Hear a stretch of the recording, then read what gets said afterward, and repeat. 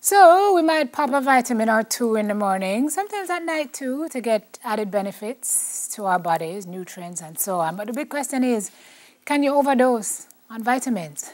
Consultant urologist Dr. Jeremy Thomas is here to tell us if we can and exactly which ones and how much is too much. Hey, Doc, morning.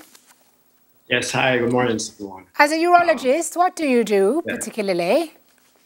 Right, so my field uh, in medicine focuses on the genitourinary system, um, which essentially means uh, the lower abdomen to the pelvis primarily, um, the kidneys, the tubes from the kidneys, the ureters, the bladder, um, of course, the prostate in men and the pelvic floor. So disorders, disorders of the pelvic floor and conditions surrounding the genitourinary organs. Okay. And it's primarily the surgical aspect that I deal with. Gotcha. Um, so I was like about last year years old when I realized that you could OD on vitamins, right? Um, yes. So vitamins are really kind of supplements to what your body already produces. Talk to us about Absolutely. the importance of vitamins and how they work with what we already do um, as right. human beings. All right, so uh, vitamins are actually quite essential to normal body functions, um, to metabolism, to many um, functions uh, within the body. So they're essentially organic uh, substances that are not actually produced by humans, and um, they're definitely necessary to carry out uh, multiple important functions uh, in the body. Um, they have antioxidant effects, anti-inflammatory effects, amongst many others. Um, but essentially, as I was saying before, essential for um, multiple body functions, right. essential for normal metabolism within the body. So you, your body produces some, and then we get others from the food we eat, right? Correct. Okay. Uh-huh. Go ahead, Doc. Well, uh-huh. Right. What I would say though is that what, what we consider vitamins to be, where they're not actually produced. Um, well, yes, for example, say vitamin D um, you know, in the presence of sunlight, you do produce some.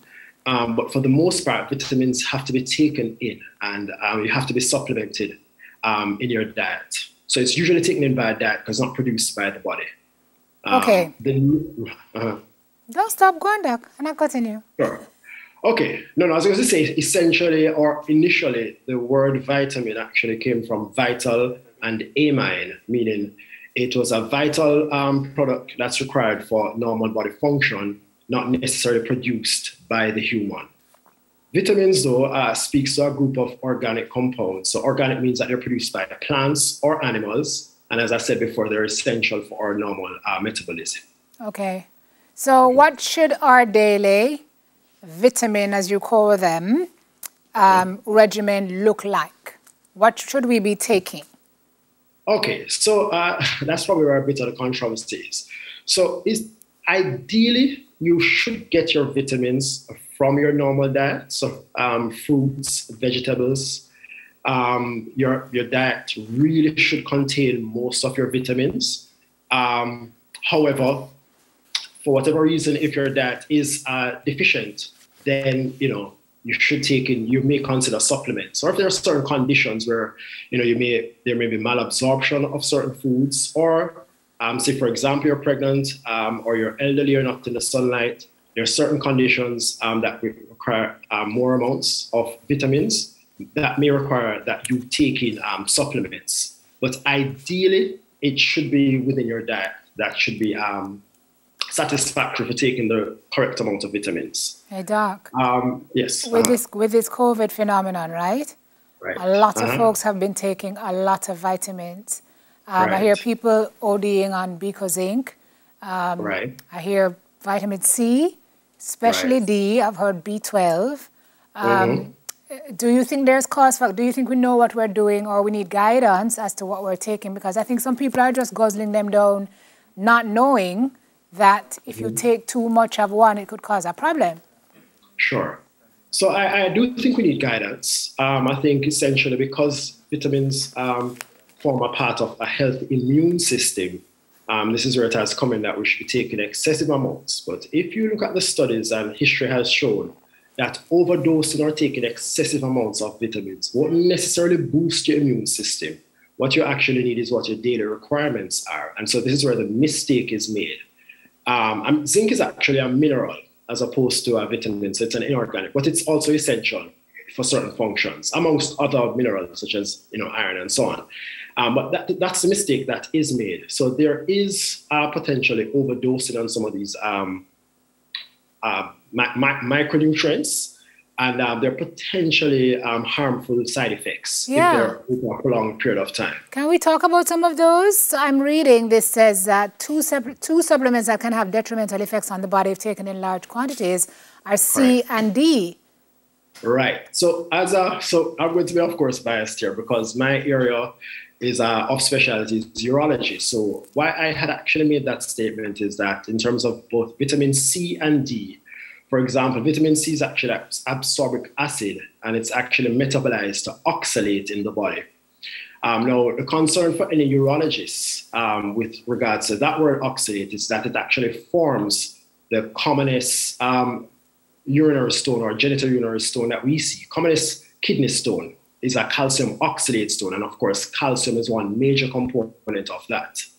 Um, so, of course, if you're taking in excessive amounts of vitamin C over a prolonged period of time, apart from digestive um, abnormalities, the concern is that you do put yourself at an increased risk of forming renal stones. And of mm-hmm. course, if you mm-hmm. form stones already, you're already at an increased risk for um, forming kidney stones. And so that um, further increases the risk. For vitamin D, it has everything to do with the um, metabolism or the absorption of calcium.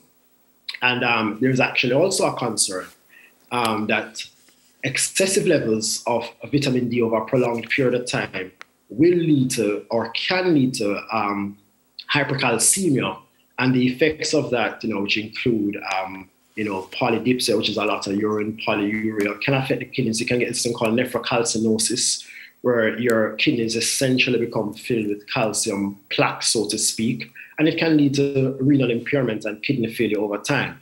Um, also, it's going to increase your risk of forming stones. Um, it can affect you neurologically, it can cause confusion.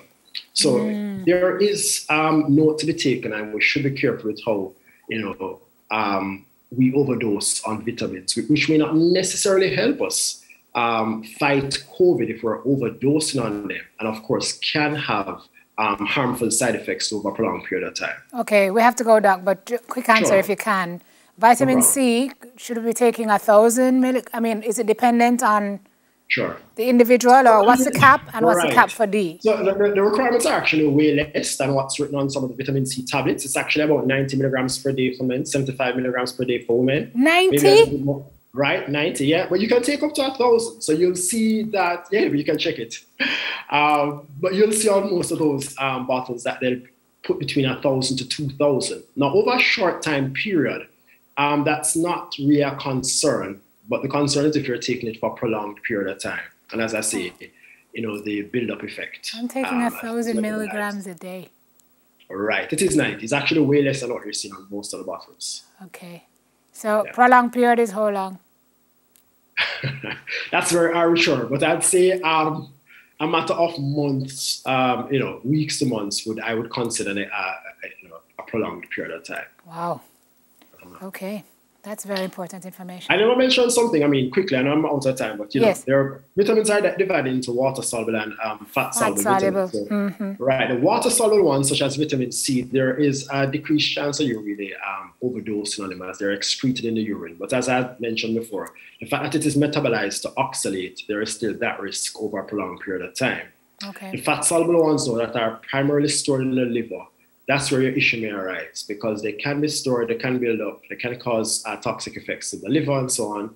And of course, there are a few other harmful um, side effects. Right. Not detrimental, rarely ever a death reported with vitamin overdosing, um, but it is possible. Yeah. Um, but still, uh, vitamin toxicity is still a, a significant or a, a worry concern, especially in these times. Okay. Thank you for sharing that. Very, very useful information. Appreciate it, Dr. Jeremy Thomas, consultant urologist.